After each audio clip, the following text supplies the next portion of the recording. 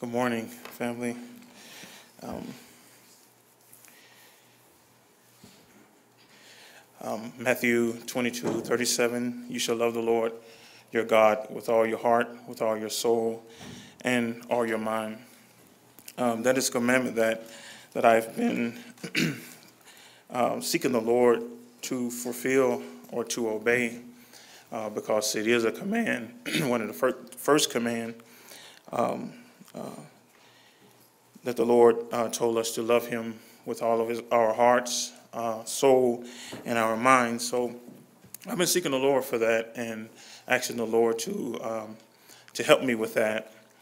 And um, and I was listening to Brother Zach this week, uh, earlier part of this week, and uh, he shared something that really blessed me and really helped me.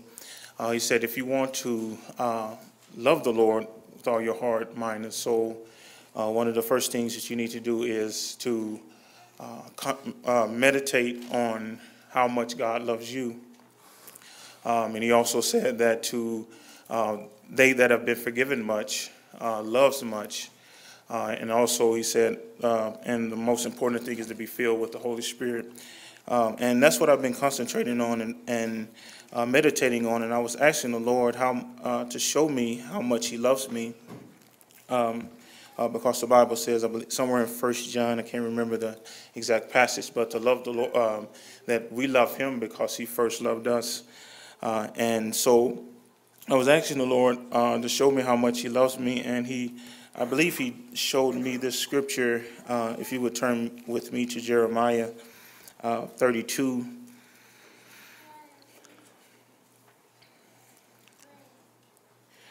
Um, and 39 uh, through uh, 41. And uh, we know that this is talking about uh, the new covenant that the Lord was going to make uh, with us, his people. And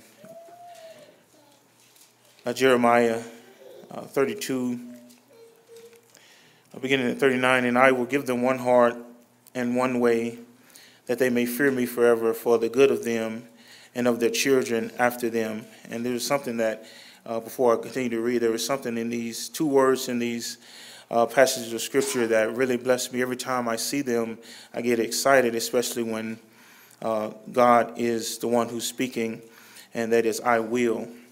Um, and those two words always excite me every time I read them in the Bible when God's saying that He's going to do something, and He said, I will that he's going, he decided to, by his own will, the Lord said he's going to do something. And um, in the singles meeting yesterday, we were talking about uh, in Daniel, the fourth chapter, and one particular verse talks about how that God is the king of every everything and everybody, and no one can stop his hand and tell him, What have you done? or What are you doing? And, and that's what, uh, when he said he's going to do something, he will do it. So uh, that is one of the blessings that I get, uh, especially through these uh, passages of scriptures, and you're going to see it several, several times. Uh, I will give one, give them one heart and one way, uh, that they may fear me forever for the good of them and of their children after them. And I will make an everlasting covenant with them, that I will not turn away from them to do them good, but I will put my fear in their hearts, that they shall not depart from me. Yea, I will rejoice over them to do them good, and I will plant them in this land assuredly with my whole heart and with my whole soul. And that verse 41 is really what blessed me because the Lord asks uh, or commanded us to love Him with all of our hearts, souls, and our minds. Uh, but I see that God done it first by loving me first. He said, I will uh, rejoice over them to do them good, and I will plant them in this land assuredly. And he's going to do it with his whole heart, and he's going to do it with his whole soul. And that really blessed me because I see how much he loves me. In this particular lesson, it's not that he was half hearted in loving me. He was wholehearted in loving me and doing what is uh, best for me. So that really blessed me uh, to see him, uh, to see how much he loved me uh, in that particular area. And in another uh, particular scripture, he showed me, or I believe he shared with me, is uh, Second Thessalonians. Um, 3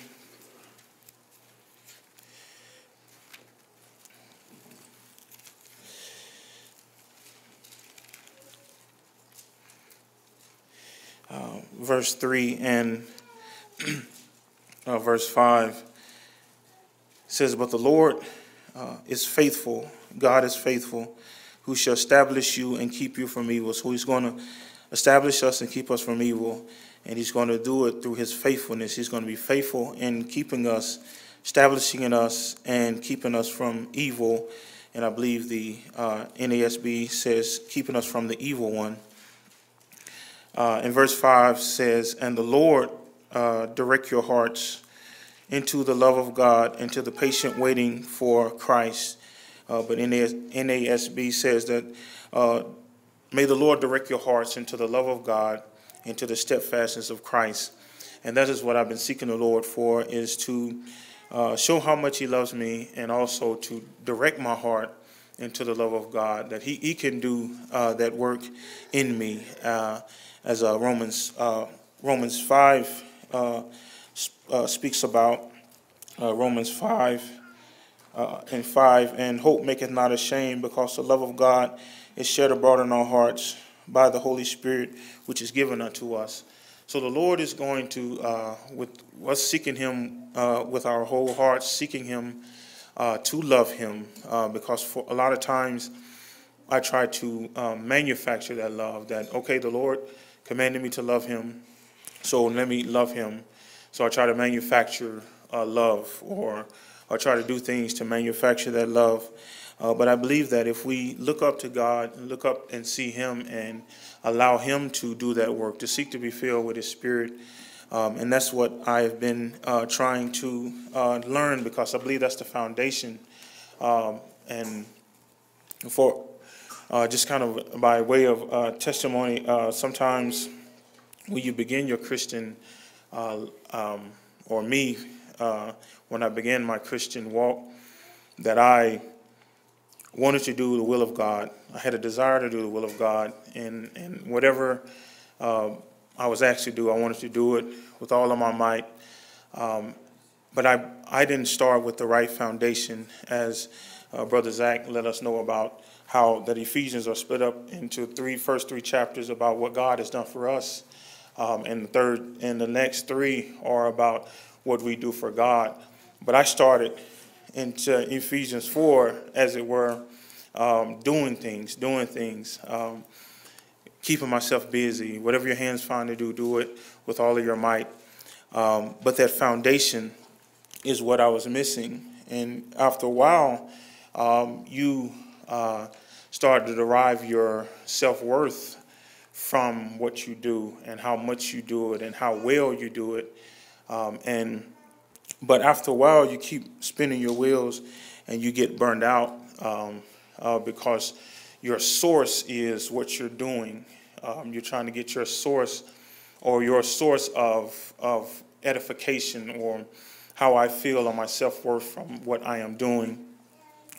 Uh, but uh, later on, I, I, I saw that the foundation was not laid, and that is what God has done for me. My uh, how much He loves me, and how to meditate on that of how much He loves me, and seeking to be filled with the Holy Spirit of God. That it automatically is there's a automatic thing that happens is because my response is automatic to the point to where I see how much He loves me, and it's automatically it's not something that I have to um, to uh, pump up or prime. It's that it's, it's automatic, and I see how much He loves me. And then I believe that uh, once we uh, once I get to that point, then I can love Him with all of my heart, uh, my soul, and my strength, my strength. And so that's that's what I want. Uh, solicit your prayers for is to is uh, that the Lord will continue to show me in greater measure how much He loves me, and and that He would direct my heart into the love of God, and that I would seek Him that He would do that uh, for me, and to and to uh, meditate on how much He has forgiven me, or, or recognize how much He has forgiven me, um, uh, and to seek to be filled with His Holy Spirit. Uh, so, so those are kind of what the Lord has been showing me recently, and and it has been uh, already. I see fruit in it, um, and and I just love Him, um, and uh, and I just want to concentrate on how much uh, He loves me, um, and um, just kind of my testimony, just to kind of uh, tell you how what the Lord done for me. Uh, I was coming here, and um, I, I think it's 12th uh, on 12th Street. Um, I stopped at the stop sign, and my truck started to spin, like just all of a sudden just started. So I wasn't even moving. It was just started to, and I didn't understand. I didn't know what was going on. So, but the Lord automatically gave me what to do, um, and and there was no anxiety there, uh, or no adrenaline rush or anything like that. And and just even in that small way, he just showed me how much he loves me. Just kind of just showed me what to do, and I I came on in. So. Um, uh, it's a joy, and, and I, I just thank God for His revelation um, and showing me that, and that's uh, something I want to uh, continue to uh, seek the Lord for in greater and greater measure. Is that He would direct my heart into the love of God and the steadfastness of Christ in Jesus Christ.